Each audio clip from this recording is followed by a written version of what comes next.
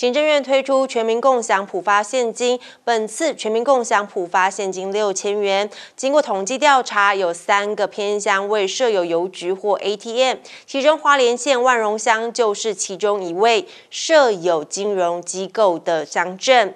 六号起登记的民众可以至派出所领取，而领取时间为四月六号到四月十九号，早上八点到下午六点，发放为期两周。全民共享普发现金六千元，经统计，万荣乡三所派出所登记人数为西林派出所六百六十七人，万荣分驻所两百九十八人，红叶派出所三百七十人，总计一千三百三十五人。你领了几份？三份。三份哈，那大概会想要怎么样来使用这个普发？买美美东西啊！啊，买美美东西哈。对。而日前登记的民众，六号起可以至派出所领取。